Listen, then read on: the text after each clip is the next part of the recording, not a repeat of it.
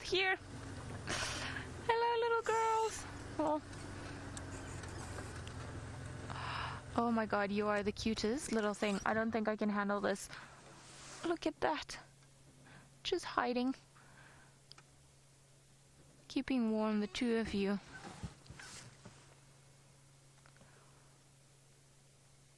Oh, that is a precious moment for the two of them.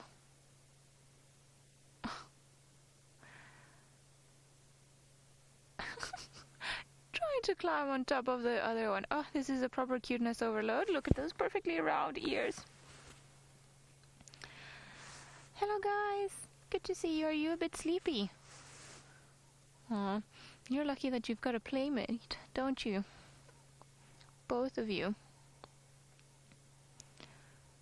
Is a very beautiful thing between the two of them. And you see typical hyena, that movement where they put their nose up and just try to catch the scent and anything that might be floating around. Now, I can't really see any of the adults here, so I'm not too sure if perhaps they are on the other side of the mound. So I'm just going to stick around for a few moments and maybe scan the area while these two are quite happy and sleepy there. But if we don't see any of the adults, then we're going to have to leave the den because we're not allowed to spend too much time here if they are not here. Oh, that is such a precious little face. Look at that.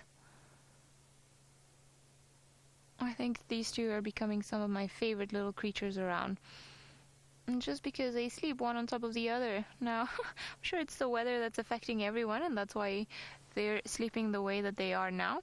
And it's a lot more comfortable where you can sleep on top of another hyena, isn't it? You agree, hey?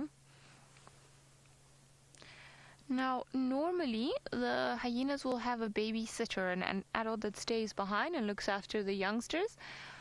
But um, I can't really see any of them around here. Now, there's also at the back of the Termite Mound, we know that that's where the adults like to hang out. So I wonder if perhaps some of them are at the back there. this is too much.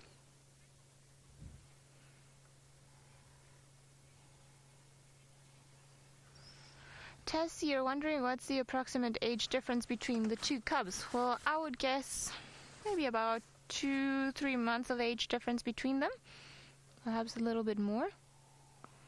But they're still both of them quite young, and they are confined to remaining in the den while the adults go out hunting and marking their territory and fighting and whatever else that they might want to get up to during the night. So this is safety. This is home for them. They used to be at another den, at a certain distance from here and uh, in the last few weeks we believe they've just been making home of this beautiful termite mound which is a perfect setting for them. There's a hole behind where the two of them are so if there was anything that would make them feel threatened they could very quickly go back down into the mound and then just be safe away from anything.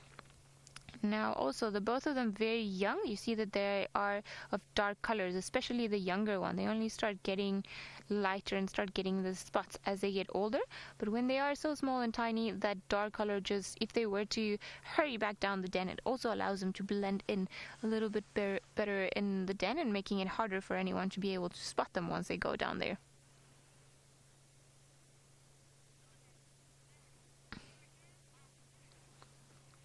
Sarah, you're saying that their ears are huge. Well, they are, and they act as very good satellite dishes, picking up all the noises and everything that's around them. So, they, as you can imagine, they've got a very good sense of hearing. Although I think these little ones still need to grow into their ears. But even as adults, one of the most prominent features of a hyena are just those very big ears. You guys are so, so cute. I think this is the perfect way to spend this morning. it seems like the little cub is not moving, doesn't matter what Intima tries to do. I think maybe you're getting a bit impatient there. Oh, you're so cute. James, you're saying you're surprised at how often they are outside of the den. Well, I would assume that it gets a bit boring inside of the den, not too many things to come around, and then also they want to come out here. There's so many things that can stimulate them that they can hear, that they can smell. But they're also quite by instinct quite clever, and they know that this is a safe area, so they would not wander off too far on their own. And now. I think maybe they have been sleeping inside for, for too long and that's why they've decided now to spend some time outside. I wonder, there's something that they are looking at in the distance, but I can't figure out what it is. Hmm. You two are so adorable.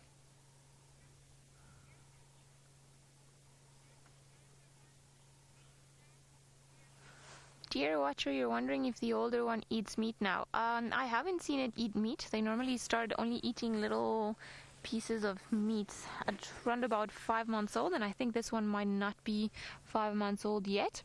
And they only go out and eat meat if either perhaps one of the parents on occasion brings something back to the den, or if there's a kill nearby, then they might just try that. But other not, otherwise, if not, then they just purely survive in milk and they can suckle for almost a year and a half sometimes. They have a very, very, the mothers provide a very, very nutritious milk, and it's believed that part of the reason why that milk is so nutritious is because of that high content in calcium in their diet. That allows them to, to produce a lot more milk or for a lot longer than some of the other creatures because it's a very late weaning age for them. I mean, if you think about it, most animals are weaned at around about four, six months old, and these guys, for about a year and sometimes even up to two years, are carried on being suckled by their mothers. Oh no, I don't want to get down.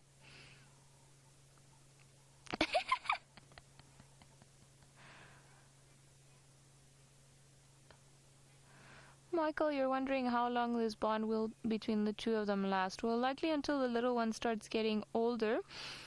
And uh, hyenas are very competitive, very competitive nature amongst them. So once they start trying to prove who's of a higher rank, then I reckon that bond is going to start severing, not being as beautiful as it is now. But I think probably we have a few months ahead of us, and these two being quite tolerant of each other, they only have each other to play with. So Intima's actually still being quite gentle. Normally, the little hyenas they can be quite uh, they they can bully each other quite a lot, and you'll see them biting one, especially if it's a lower ranked or if it's a cub from a lower ranked female. Yep, off we go. We are tired. It's cold out here. See, and Tima's very clever at keeping guard and knowing what's around. So she also knows uh, that the safest place is to go down there, and so it does the little cub. It'll just follow Antima around. Seems like it's learning a few tricks. Shame, but I think the little cub is quite cold, so wherever Antima goes, that's where the little cub is gonna go, just for warmth.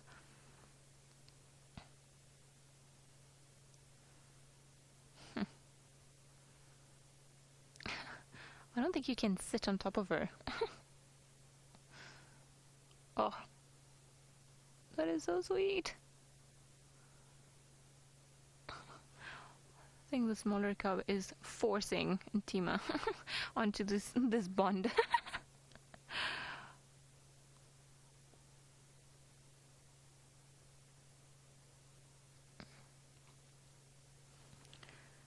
Very beautiful. Alright guys, I'm going to investigate around the den, see if perhaps the adults are here so that we can stick around for a while longer.